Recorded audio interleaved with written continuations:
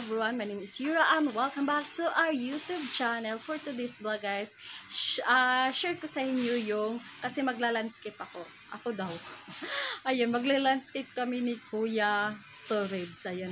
Siya yung mag, ano ha, mag-landscape. Pero ituro ko lang kung anong gagawin. Ayan. Yan. Kasi marami dito mga snake plant guys. Nandyan, dyan, dyan, dyan sa tabi. Ayan.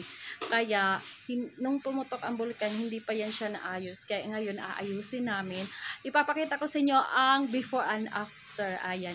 At kung bago ka pa lang sa aking bahay guys, ah, pindutin nyo na yung S dyan sa tabi. Ayan, subscriber. At huwag kalimutan ang notification, notification bell. Ayan, nabulong na ako para laging updated kayo sa mga video na ipopost ko. Ayan, hindi na natin patagalin to. Tara na guys. Umpisahan na natin yun.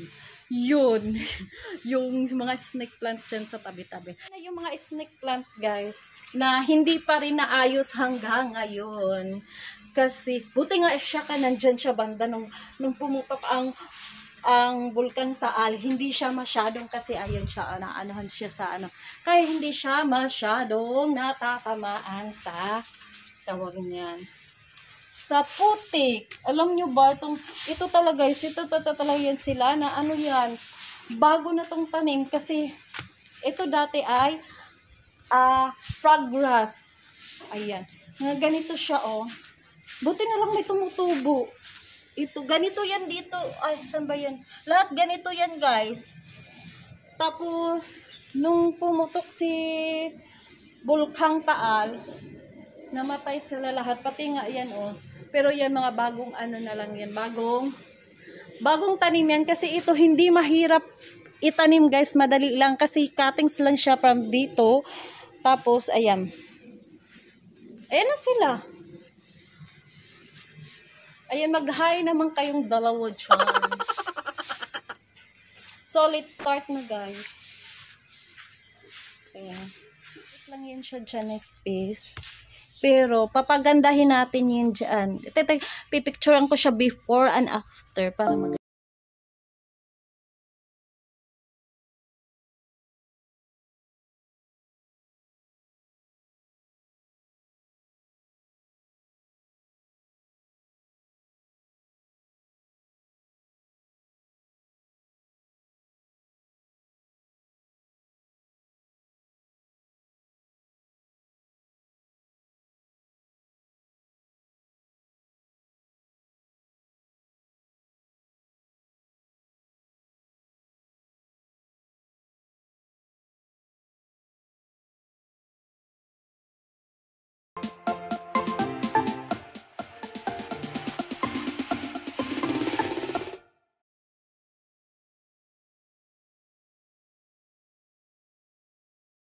Kanino ko, Diyos mio. Pwede lang pala siya bunutin, oh. Bunutin ko na lang. Pero ito, anong gagawin ko dyan? Ayoko yan siya bunutin kasi, ano yan, cactus yan. Baka matinig ako. Ay.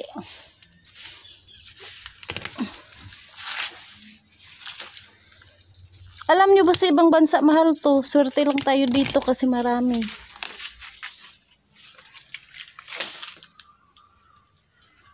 Ay, natanggal ko na yung ano. Kaya, ito ang hirap tanggalin eh. Bato kasi siya kaya wala ko ma maano na yung lalaki na tumulong kay kuya kaya mm, dyan muna siya.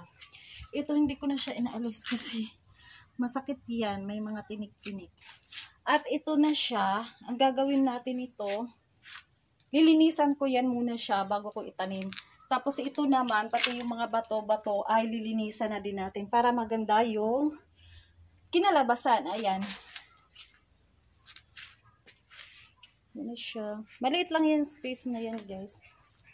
Pero, papagandahin natin yan. Natin yan. Sus, ma- ang ingay-ingay naman. Nandito na naman yung nag-grass cutter. Lumalapit talaga sa akin.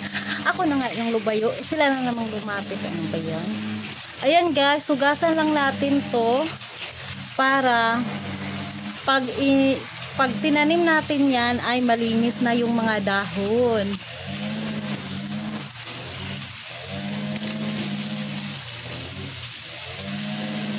Tapos yung mga bato naman, ayan, may hinanda na ako dyan. na paglalagyan natin sa mga bato kasi ano natin yan. Tanggalin ko lang muna kasi yung mga putik guys saka ko siya rin ano ayun na. Yan siya. Tapos ito naman yan. Tanggalin ko. Anuhin lang natin to kasi ano ko siya, brasan ko siya pero ibabad mo muna natin yan para madaling matanggal. Ayan, may ano yan siya, nilagay ko dyan sabon lang. Madali lang yan tanggalin.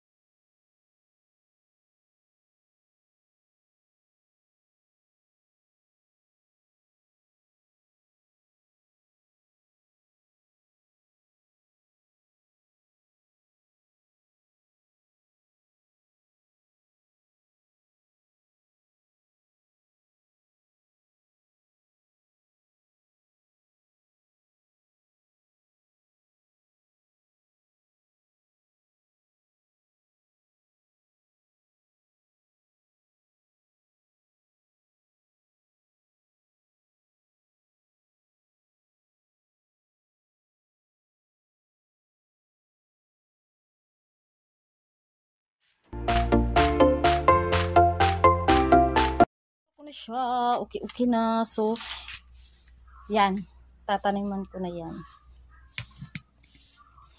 Tsaka, ilapit natin guys.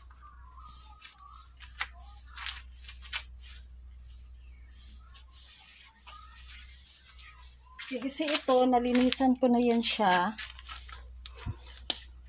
Okay.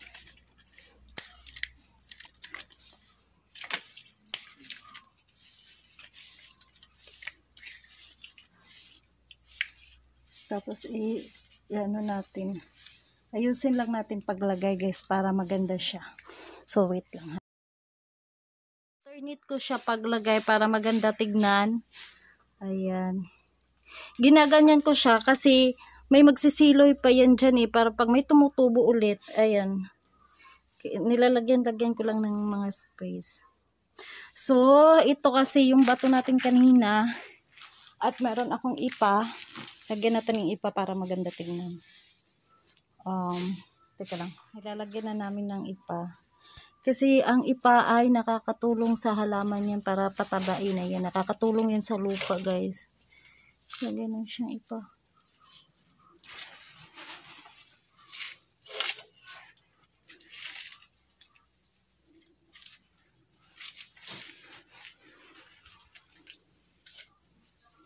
Hindi na, punuin mo.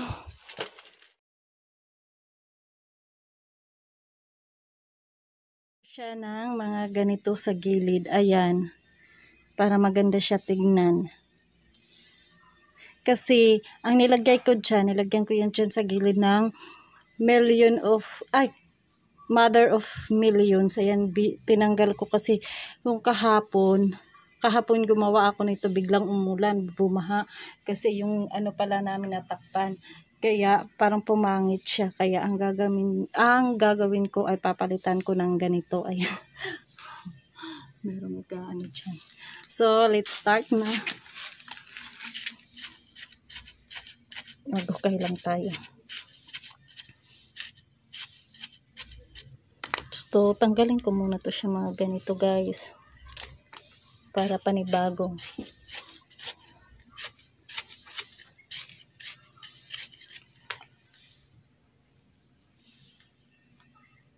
Para maganda siya tignan. Tigdadalawahin natin.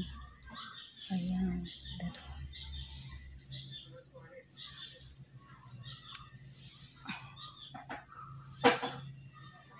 wait ha. Ipapakita ko sa inyo pag